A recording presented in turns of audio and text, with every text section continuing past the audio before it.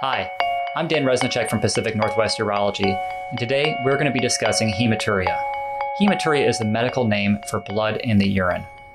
We typically describe this as either microscopic or gross hematuria. Gross is the word that pathologists use to describe something macroscopic or something that's easily visible without a microscope. This is typically blood that you see yourself in the urine. This is blood that you see yourself in your urine. Microscopic hematuria would be blood that you can't see in your urine, but your physician had sent your urine to look at under the microscope and red blood cells were seen. What are the causes of gross hematuria? Well, first, it's under, important to understand the urinary tract and what goes into making your urine. Okay, so what we have here is the anatomy of the urinary system, first starting with the kidneys on top. The kidneys produce the urine, and the rest of the system is designed to transport the urine out the body. The urine travels through the ureters, the bladder, and the urethra, and then out of the body. So let's first take a look at the kidneys, what's going on internally. The kidneys make the urine of the body, which is uh, a waste products that your body's trying to get rid of.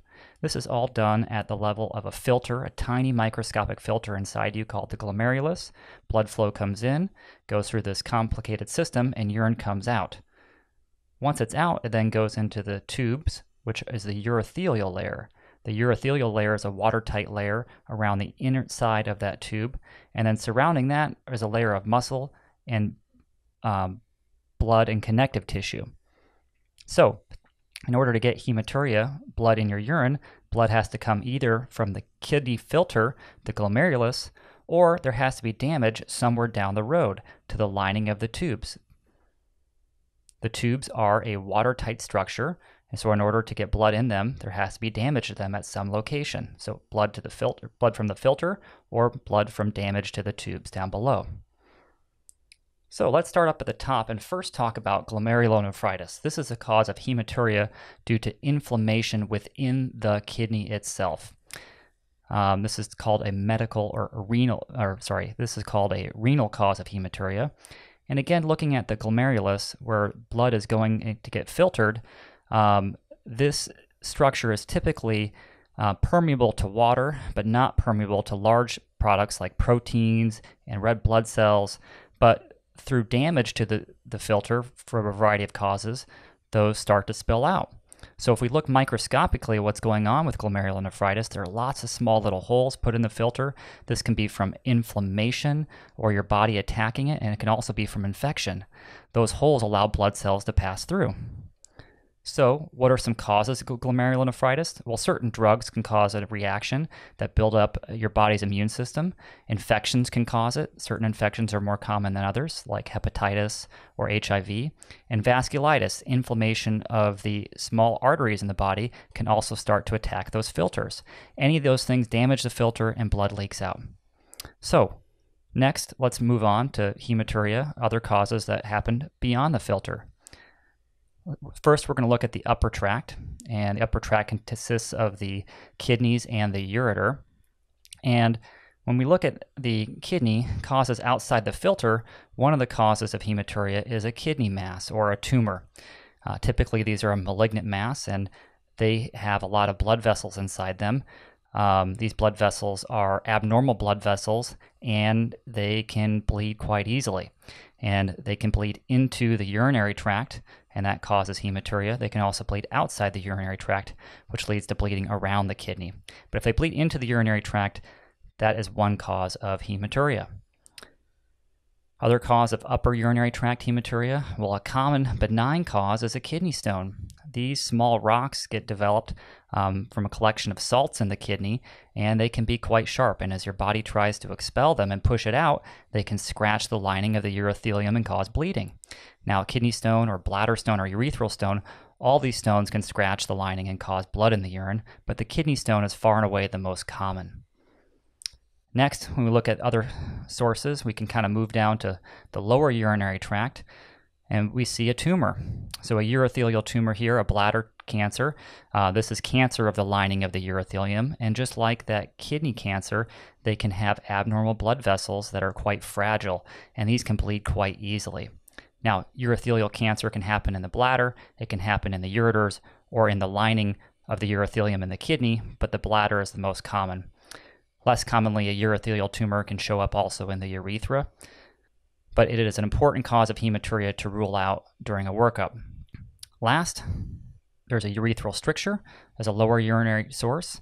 As urine passes through the stricture, the velocity increases. This can cause inflammation and bleeding to the lining of the urothelium. So, what are some other causes of hematuria? Well, infections. Infections can happen anywhere in the urinary tract, all the way from the urethra up to the kidney, and as bacteria fight your body and try to get inside, they can cause bleeding. Inflammation. Inflammation here seen with interstitial cystitis. Inflammation is your body fighting itself for whatever reason, and your immune system uh, attacks the lining of the urothelium, which can cause bleeding. Here, uh, is seen a cystoscopic view of the urethra with inflammation. So, other causes, well, trauma. This person has a, a gunshot wound to the side with a shotgun, clearly can cause hematuria.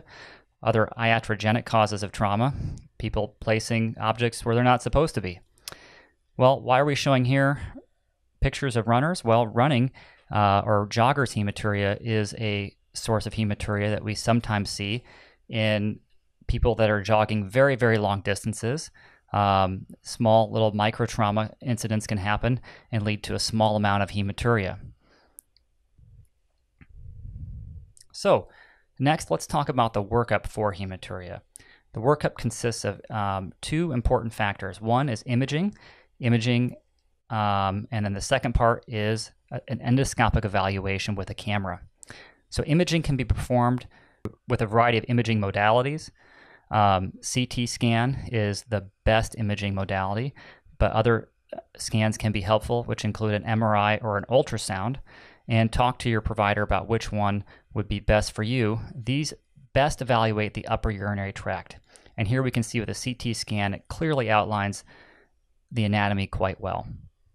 The next important part of the uh, workup for hematuria is a cystoscopy. And as you can see, or go to one of our other videos that talk about what a cystoscopy is, it's a small camera procedure that evaluates the lower urinary tract. So it's a visual examination and evaluates the urethra and the bladder, and it provides us a picture much better than any imaging test can do with a CT scan because it can see very small tumors or very small sources of hematuria.